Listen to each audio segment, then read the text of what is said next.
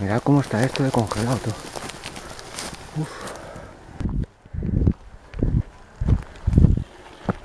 Lo curioso que a veces encuentro como trozos de... pero esto es motocross, motos de motocross, porque la, la marca es muy, muy ancha de los neumáticos.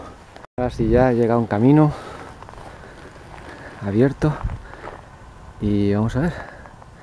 Lo ideal sería, yo creo que la nacional está por ahí abajo, entonces todo esto pertenece al Pontillón, a Pontevedra. Vamos a ver esto porque mira cómo está la cosa aquí. Unos escalonacos. Me voy a haber tirado por aquí, pero madre mía. Y esto, camino en descenso con escalones, me llevar.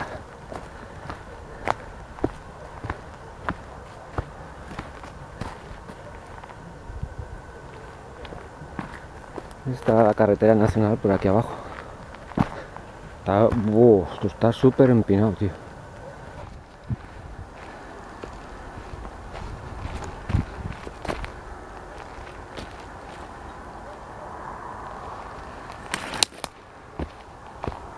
Por aquí pasa la moto esa que os digo, porque el, el neumático es así de gordo y con tacos, marcando en la tierra.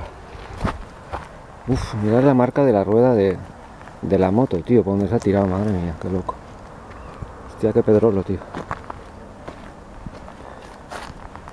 ¿Veis cómo está marcado aquí el camino?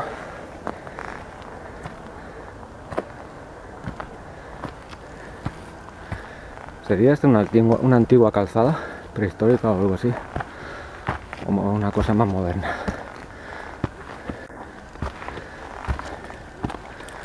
Pues igual luego bajo por este camino, pero empujando la bici, ¿eh? que eso está súper, súper peligroso, no es cuestión de tener un disgusto. Esto es curiosísimo porque son como escalones naturales aquí puestos y para mí que estos escalones demasiado lisos algunos de ellos, ¿eh? demasiado lisos, como trabajados. Y lo bueno de esto es que no hay ni Dios por aquí.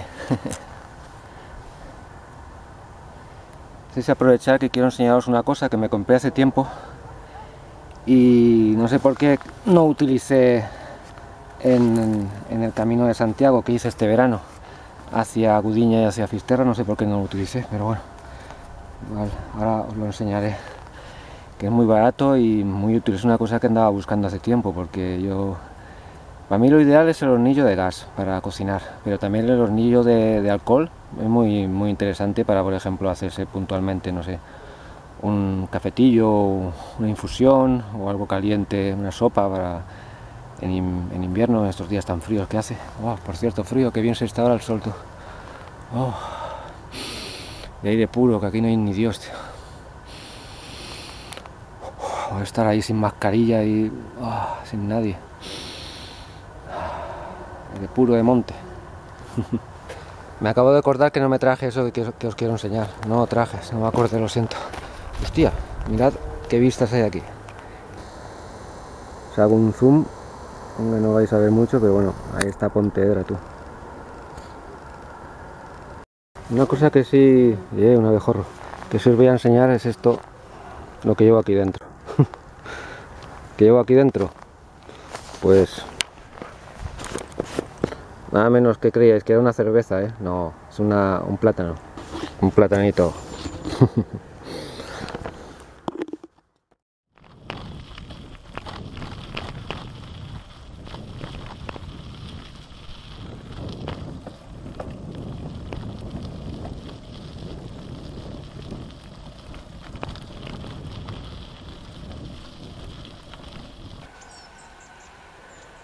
sitio es precioso.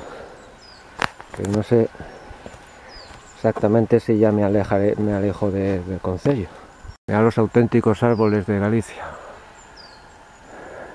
Si os dicen que los árboles de Galicia son los ecolitos son mentiras, una, una especie invasora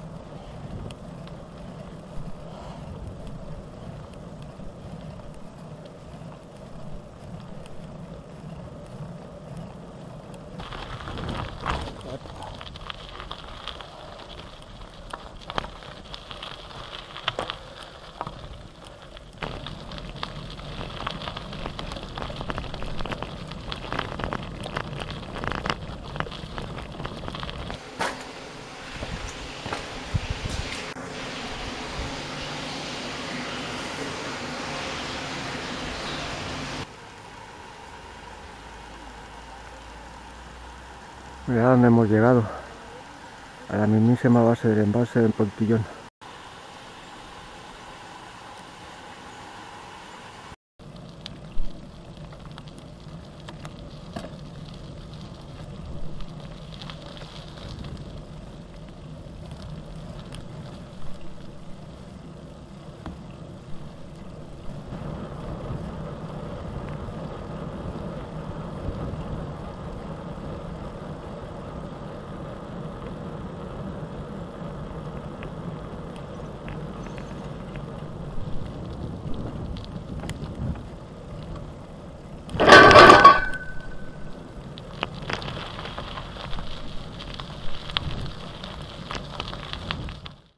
Bueno, aquí metiéndome en líos como siempre. Aquí hay una pared, auténtica pared para arriba, pedregosa.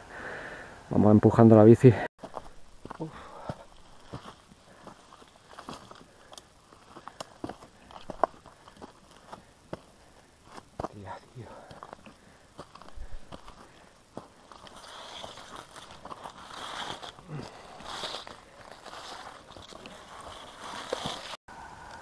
Mirad el embalse ahí abajo. Madre mía, tío. Esto es imposible en bici, ¿eh? imposible, ¿eh? os lo aseguro. Definitivamente esto es un cortafuegos porque porque la pendiente es bestial, macho. Pero bueno, me va corazón. Parece la típica el típico tambor de estos de el típico bajo de estos de las discotecas. Pum, pum, pum.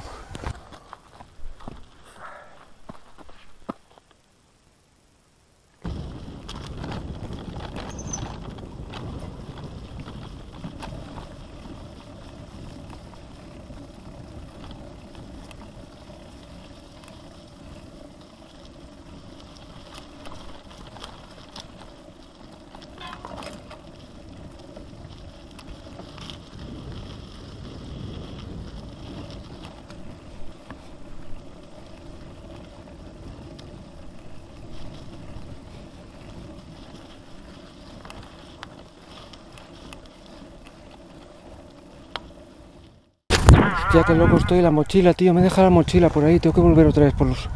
Hostia, ¿dónde me deja la mochila?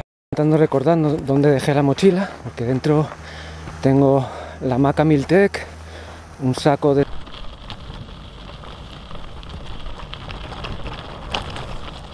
Estoy volviendo sobre mis pasos para ver si recupero la mochila. Pero tela, encima está la presión de que dentro de una hora y media o así se hace de noche. Y las luces de la bici las tengo en la mochila. Dos mil años más tarde. Está la mochila, señores. Hostia, qué alegría, tío. Qué alegría, macho. Ahí está la mochila, tío. Esto, una hora y media buscándola, ¿eh? Se ha tenido que volver sobre mis pasos y todo. Y acordarme de donde... Difícil, difícil, pero lo he conseguido, macho. Espero que nadie la haya tocado, no creo. Ha sido difícil, ¿eh? Ha sido difícil porque me he metido por el monte, por caminos súper... pero a campo a través muchas veces y me resulta muy difícil encontrarla, pero está todo, sí, yo creo que aquí nadie abrió. El palo selfie, tenemos la bolsa de plástico con la Mata Miltec, eh, aquí una cámara, pues si se me pincha la rueda, un saco de dormir de emergencia. Tenemos más. El tupper. El tupper con, con el trozo de empanada para comer me quedé sin comer. Y aquí ya no teníamos nada más. Luego en el compartimento pequeño pues unas cuerdas extras para sujetar la hamaca el frontal y la luz trasera que se me ha encendido ahora al sacarla de su sitio. Tenemos también un pañuelo por si me entran ganas de hacer aguas mayores. Pañuelos unos cachos de cuerda. No es que tuviera muchas cosas porque tampoco la ruta era un caramelo. Tampoco es que es una, no es una mochila para hacerse muchísimos kilómetros era para pasar el día esencialmente. Soy un poco exagerado, lo sé. La mandarina. Y aquí en este compartimento de arriba, Y aquí pues unas pilas extras y un poco de botiquín con vendas y tal. Por acaso. Uf, esto también me voy a fastidiar. Las tijeras plegables. Y nada. Y aparte de eso, pues eso. Eh, la tarjeta de memoria extra. Y aquí en este compartimento. está fuerte. Nada, no llevaba nada. A veces llevo Llevo ahí atrás algún pequeño toldo pero no llevaba nada. Me hubiera fastidiado, la verdad. No es que hubiera perdido un dineral, ni mucho menos, pero me hubiera fastidiado bastante.